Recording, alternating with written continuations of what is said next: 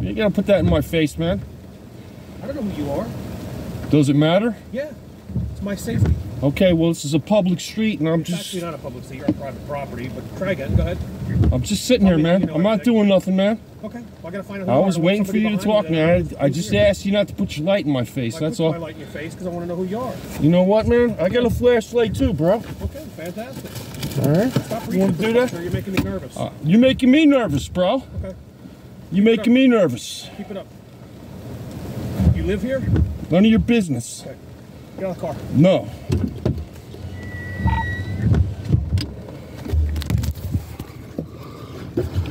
What's your name and badge number? Curtis, 1735. Good. Good. Open the door, sir. No. Give me a driver's license. No. Yeah.